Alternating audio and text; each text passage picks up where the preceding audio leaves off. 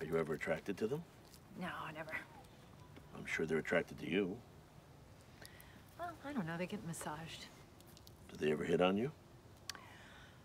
Uh, sometimes, yeah.